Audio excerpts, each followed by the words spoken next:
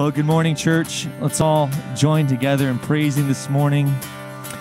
Let's just welcome the Spirit into our homes. Father, we welcome you in here this morning.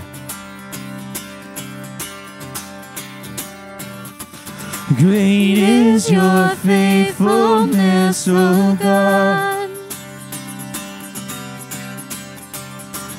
You wrestle with the sinner's restless heart. You lead us by still waters and to mercy. And nothing can keep us apart. So remember your people, remember your children, remember your promise, oh God. Your grace is enough. Your grace is enough. Your grace is enough for me. Great is your love and justice, God of Jacob. Use the weak to lead the strong. You lead us in the song of your salvation. And all your people sing along. So remember your people, remember your children, remember your promise, oh God. Your grace is enough. Your grace is enough. Your grace is enough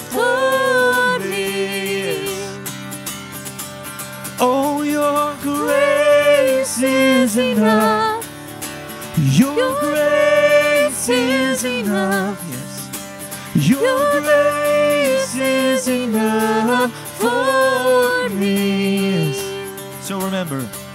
And so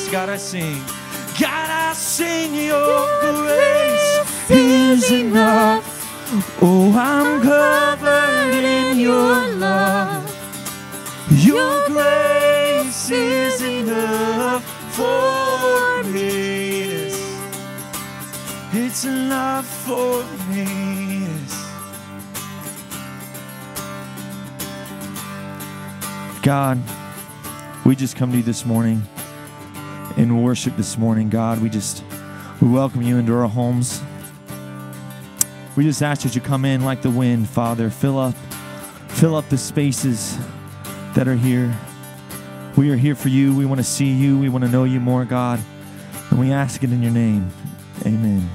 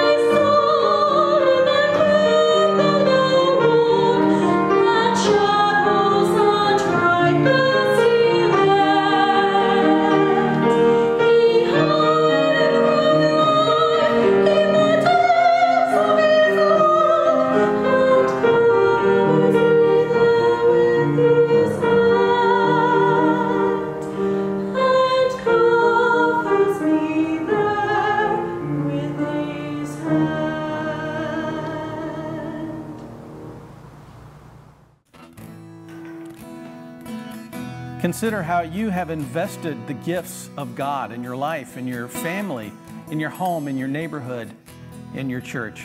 We have an opportunity through our ministry of giving to be partners along with God in His creative and restorative work in the world. Thank you for your gifts, and let us offer our praise to God in giving them.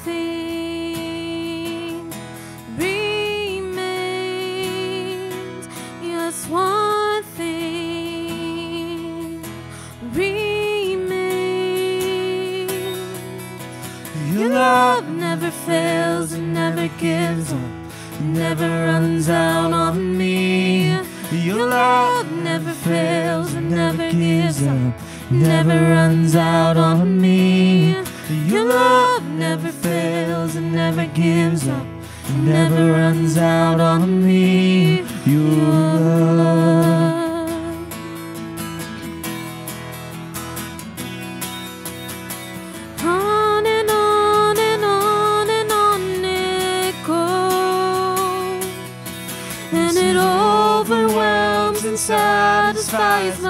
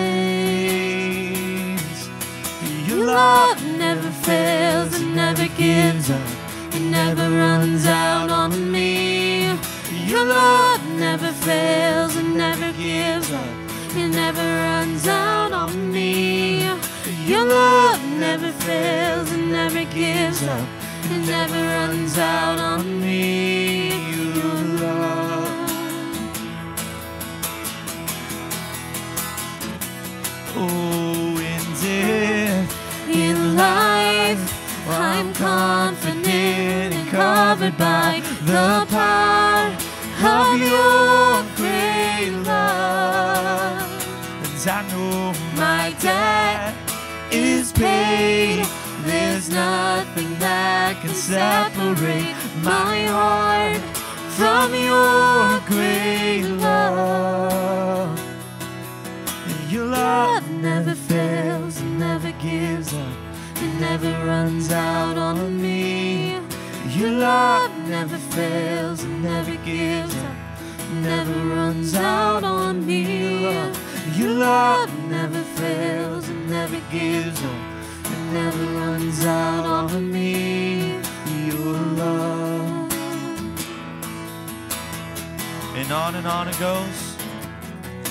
And on and on and on and on it goes. Yes, it overwhelms and satisfies my soul. And I never ever have to be afraid. This One thing remains. this One thing remains. your love never fails it never gives up. it never runs out on me. Your love never fails and never gives up.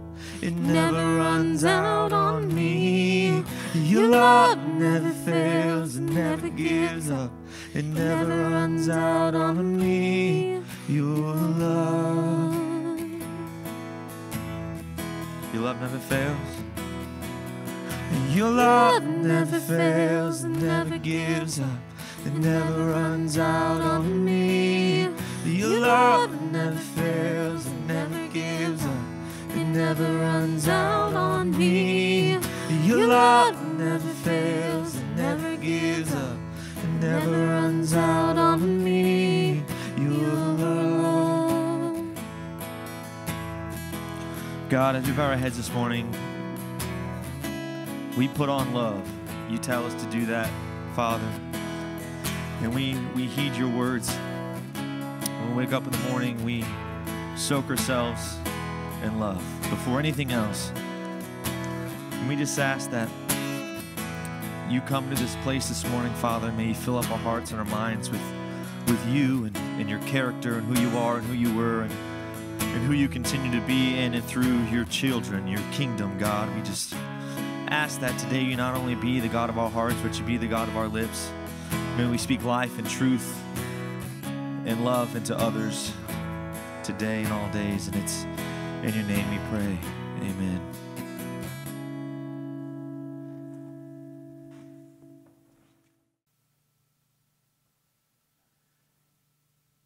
Years ago, I saw a comic, a comic strip, and the first frame was a man attempting to rob another person on the street. He thrust his weapon into the man's face, held out a bag, and said, Give me all your valuables. And in the next frame, the man who was being robbed was putting all of his friends in the bag. Outside of the gift of salvation, I can't think of a greater gift from God than friends. I was to meet with a friend. We made plans before Christmas, and we were going to meet in Nashville. We don't live in the same city anymore, so we were going to meet in Nashville and enjoy some good barbecue and good music, stay the night. But we had to postpone those plans, of course. We thought March, that'll work. Well, we had to reschedule for April. Surely this thing will be over in April, right? Well, we rescheduled for May, and now I don't know when we're going to get to see each other. We can text and we do text, we can talk on the phone, but it's just not the same being there. And there's nothing like being in the presence and in the company of friends, is there? The sage of Proverbs tells us in Proverbs 18:24, one who has unreliable friends soon comes to ruin, but there is a friend who sticks closer than a brother. You might not know the first half of that verse. I'm sure you've heard the second half, even if you didn't know it was scripture. There is a friend who sticks closer than a brother. But I like this translation best from the message. Friends come and go, but a true friend sticks to you like family. With few exceptions, I believe people everywhere hunger for friends, friendships, true, deep, abiding, close friends. They are a gift for sure. And we were made to have friends. Someone told me years ago that God created Eve because he was afraid that Adam would wander around the garden forever and never ask anybody for directions. But we know what the Bible says. We were made for companionship. It is not good for man to be alone, God said. We are better together. In 2 Timothy, the Apostle Paul, when he was in prison, wrote his young friend Timothy and said, Come to Rome before winter and when you come, bring some warm clothes, bring some books. But most of all, he wrote, bring yourself. Again, I can honestly say I don't know of anything more valuable, blessed, strengthening, encouraging than a true friend. And this is certainly a part of our identity as followers of Jesus. We are friends with one another. We are friends with other believers. We are friends to our neighbors. And we're friends to the one in need. We hear that echoed by multiple prophets and certainly echoed by Jesus. I think of the parable of the Good Samaritan. We are to be open and available to all.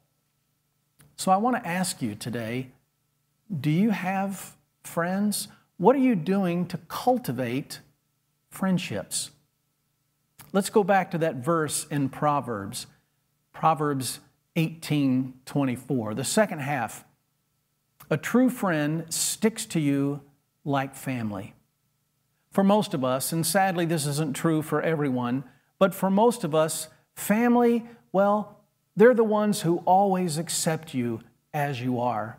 They never turn you away. Family, the ideal family is a, is a group of people who always encourage and strengthen you. It's a beautiful image to put family and friend together. A true friend sticks to you like family. We all know that there are some very important choices that every person makes in their life. What God you're going to follow, what God you're going to worship, who you're going to marry if you decide to marry, and who are going to be your friends. The God you, you choose to worship will change everything. And everybody worships, by the way, because everyone has a God, even the atheist, you see. Their God is unbelief. Everybody has a God, and every, everyone worships that God. So that's an important, crucial decision, of course. And if you choose to marry, that's an important decision because this is a person with whom you're going to share everything, life, build a life together. And of course, friends, the people with whom we surround ourselves, they shape our character, they influence who we are, what we are about. We need and desire friends. There is another proverb from chapter 12, verse 26 The righteous should choose their friends carefully, for the way of the wicked will lead them astray. I think many of us learn from our parents the best way to find a good friend is to be a good friend ourselves. That, I would suggest, is the first part of Proverbs 18:24. Go back and read that. The reason why some people do not have good friends is because they are not a good friend to others. You don't take friends, you make them friends. Friends are the ones whose company that we enjoy. A friend turns a dreary day into something new entirely. A friend can bring the best out in you, point us in directions that maybe we hadn't thought of going, a direction that we need to go. A friend's presence on the scene can change everything. Friends they bring joy. They add a dimension of joy to our lives, not always by what they say or what they do, just by being there. I saw a meme a while back that said, I will text you 50 times in a row and feel no shame. You are my friend. You literally signed up for this. And there is something about that that rings true, isn't there?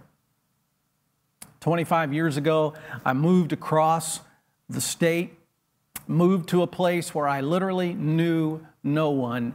And my wife at the time, though we hadn't been married very long, decided this was not the kind of life that she wanted an itinerant life of a United Methodist pastor. So she left, and I was crushed, of course. But every week, every weekend, Les or Steve or Mac, they would be there visiting with me. It was years later years later before I learned it was a coordinated effort. They had talked with each other. John needs us right now. Can you go this weekend? If you can go this weekend, I can go that weekend. And what about this weekend here? I heard someone say a friend is someone who will walk into your house when the whole world has walked out. It's true. Friendship lasts through thick and thin. A friend is one who sticks closer than family. So, again, we should all ask ourselves if we are making time in our lives to prioritize friendships and to cultivate new friendships. In Dante's Inferno, the nethermost depths of hell is that place where individuals are frozen in ice, unable to have companionship with any other person. Now, I know that's a work of fiction, but good friends are important for our physical health. Scientists Researchers, doctors have told us that. Friends are important for our psychological health. We've certainly learned that during this virus, haven't we? And friends are also significant to our spiritual well being. One of the most powerful things Jesus says to his disciples is in John 14 I no longer call you servants, but I call you friends. And we certainly know his deep and profound love and friendship for us, don't we? It's in John's gospel where he also says, Greater love have no one than this, that a man lay down his life for his friends. And Jesus did that for us. One of the saddest stories in the Bible is the story of Amnon, who was the son of King David. He raped his own sister and was eventually murdered by his brother. How could that happen? Well, 2 Samuel 13 records the story, and you can go back and read it for yourself, but it's verse 3 that reveals the truth. But Amnon had a friend whose name was Jonadab. Now, Jonadab was a very crafty man. He had a dark heart and an evil mind. Well, because Amnon followed the advice of a so called friend, he committed incest in the house of the king and brought shame to the entire family. All of this happened because he chose the wrong person to be his friend. Now, something like that isn't likely to happen to us, but it illustrates a greater truth. You run with the wrong crowd and you start listening to the wrong people. When you start listening to the wrong people, you start following the wrong message. When you hear the wrong message, the wrong advice, then you emulate that wrong example. And there are consequences. Some years ago, in a previous congregation, there was a boy in the youth group, and he started hanging around the wrong crowd. I'm certainly not seeking to cast judgment on any person, but I, but I think in the context of which I'm speaking, you understand what I'm communicating. And he started hanging around some boys that were not a good influence. Months and months, they shared time together. He dropped out of the youth group, dropped out of church, saw less and less of his family.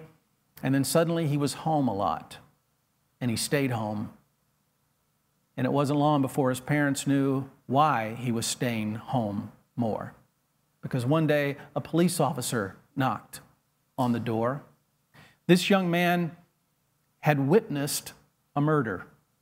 One of the boys that he was hanging with, that group, they murdered another boy. Now, only one boy was guilty of the murder. Only one boy pulled the trigger. But this young man from our church, he was there. He didn't stop it. He saw it and he went to prison because of it.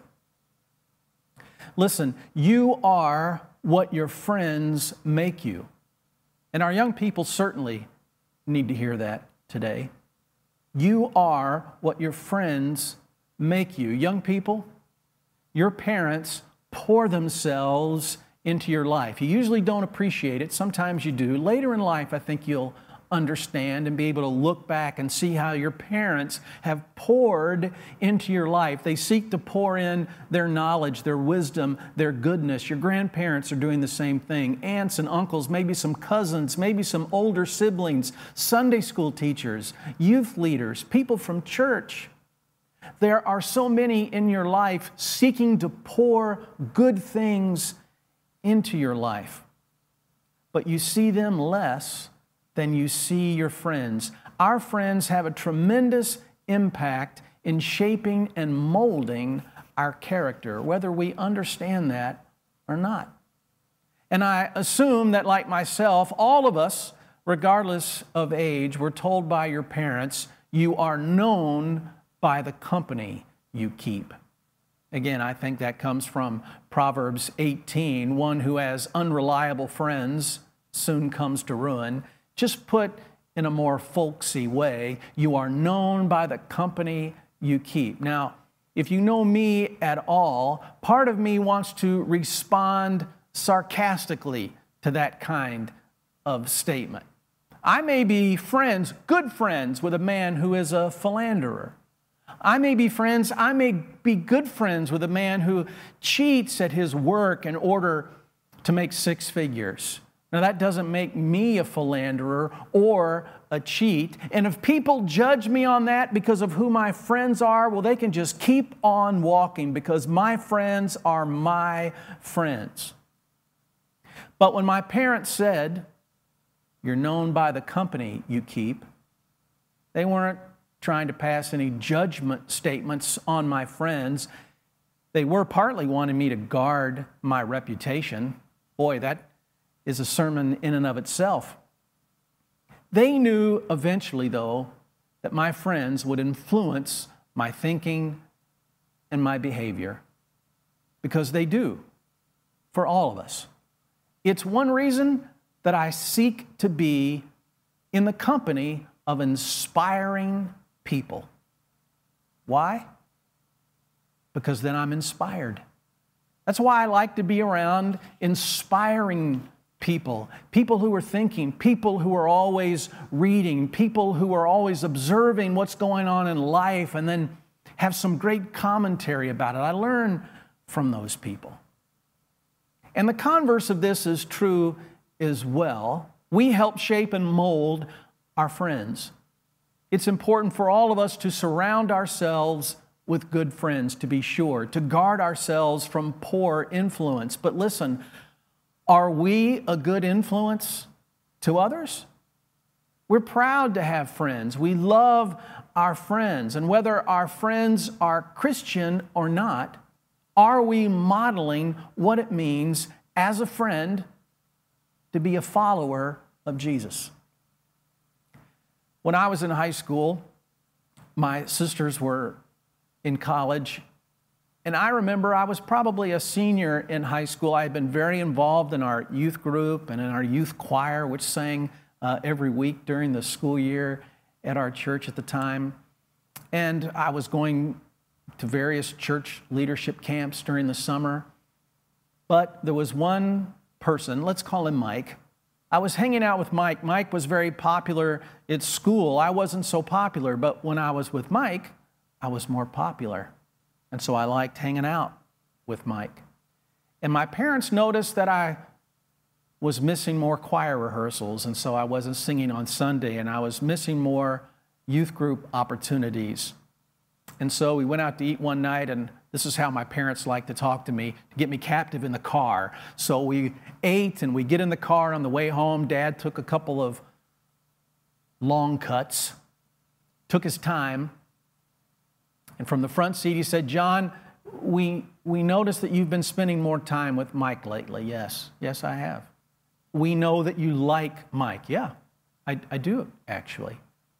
We've also noticed that you've been spending less time doing the things that you previously said were important being at church, taking an active role in youth. And the conversation continued, and it finally crescendoed with you're going to discover in life, John, that you have to make some decisions, and sometimes those decisions aren't just difficult, they're painful.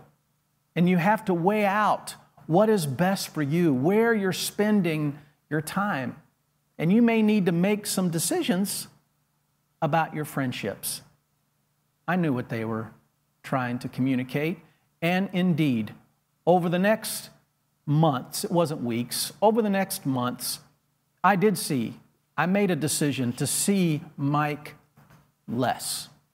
Because I did realize at the prompting of my parents, who were looking out for me, that I was straying away from those things that I said I believed, that I said was important. I was getting into some trouble that I wouldn't be getting into if I wasn't with Mike.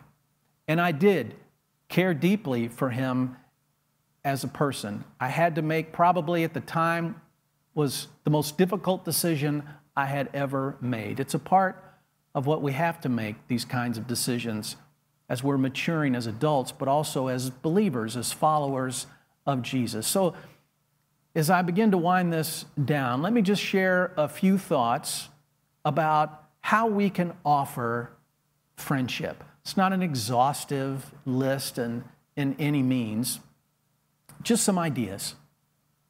It's important, I believe, for us to be affirmative with our friends in our friendships.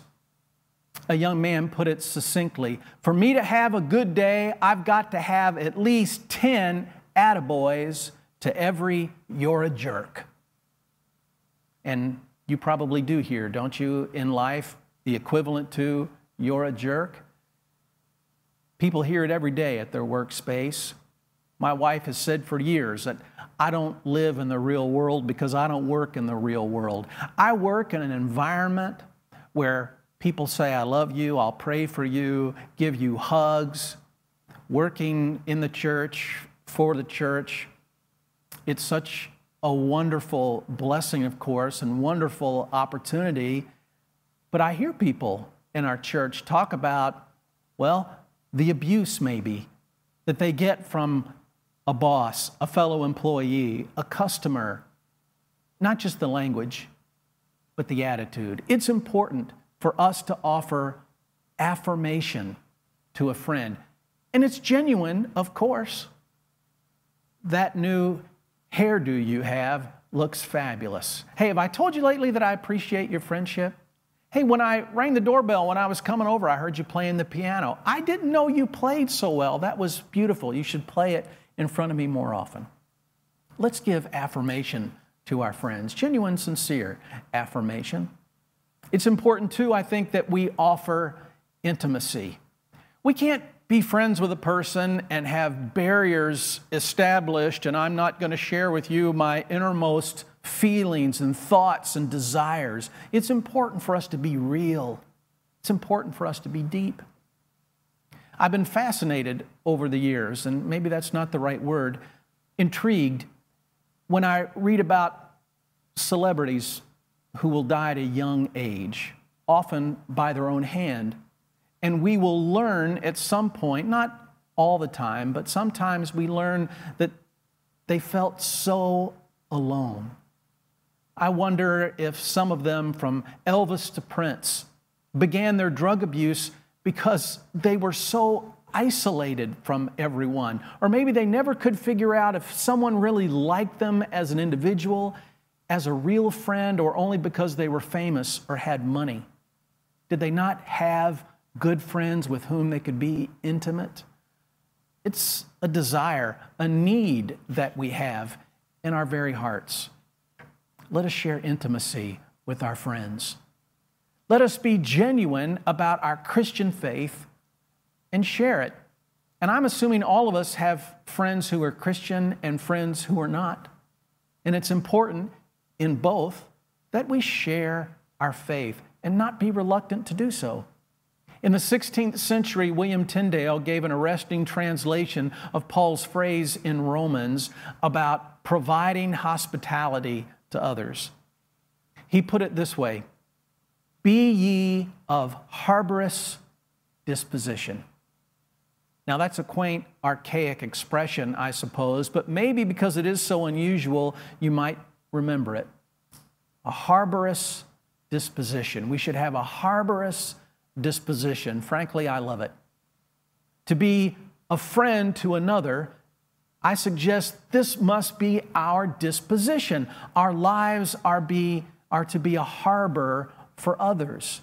We are not only to provide a physical presence and physical hospitality, but soul shelter, if you will. Share your faith, share your faith journey, the ups and downs of faith. Your struggle, perhaps, at some time with belief or with Scripture. Share Scripture offer to pray for your friend. It's important that we be genuine. It's important that we be real. It's important that we not compartmentalize what it means to be a follower of Jesus, that it's only about Sunday or it's only about singing contemporary songs or hymns or stating the affirmation of faith. It's something that affects us, changes us, and therefore it can affect and change a friend. Simply be who you are in the faith because of faith.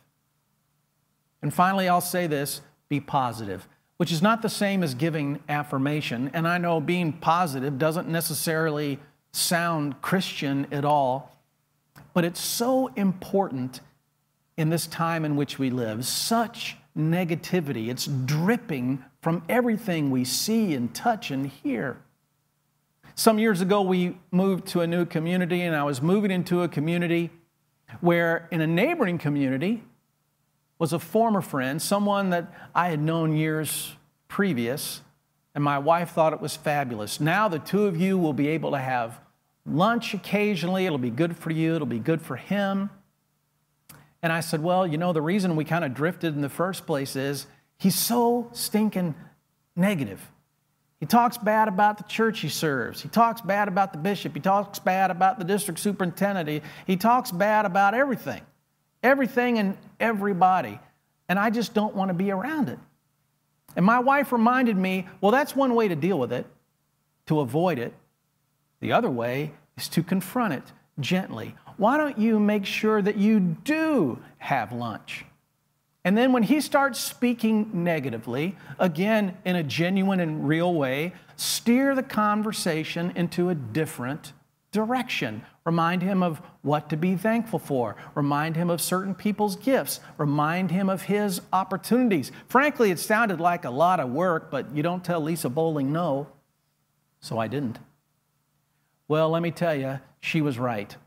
When we would meet for lunch and talk, and he would veer into the negative, I would try to steer that into another direction of being positive, and it did change the tone of our conversations.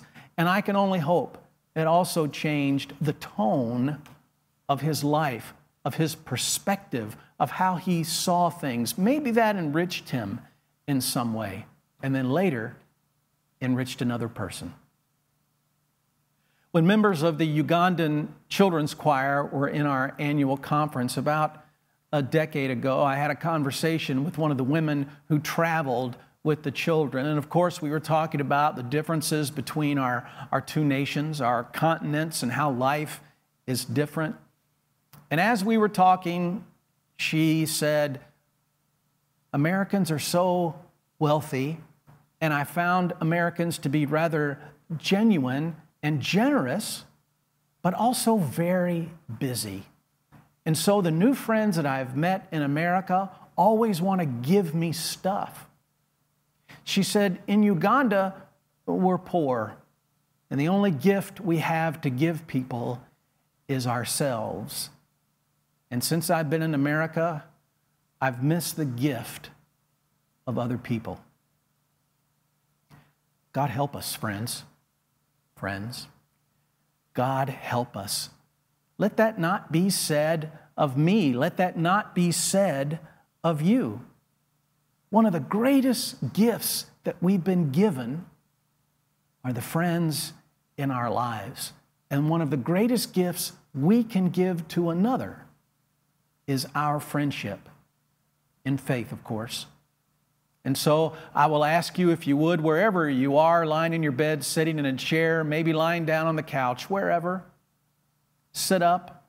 And the words that will be on the screen, join with me in a litany of thanksgiving, of gratitude, of affirmation, allowing ourselves to spill over into the lives of others as friends.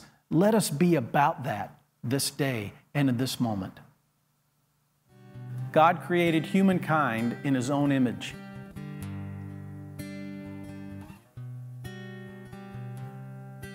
In time and history, the Word of God became flesh and lived among us.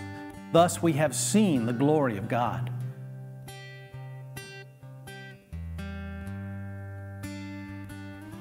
He taught us no one has greater love than this to lay down one's life for one's friends. You are my friends if you do what I command you. I do not call you servants any longer, but I have called you friends because I have made known to you everything that I have heard from the Father. You did not choose me, but I chose you, and I appointed you to go and bear fruit. I am giving you these commands so that you will love one another.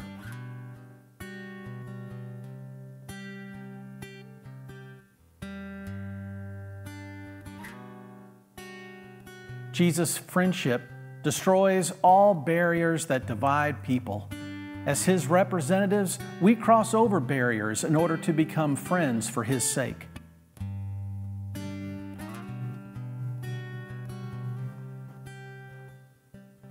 As friends, children of God, we bask in His love as we live and serve Him. In all our relationships and future relationships, we seek to share the love of Christ which He shares with us.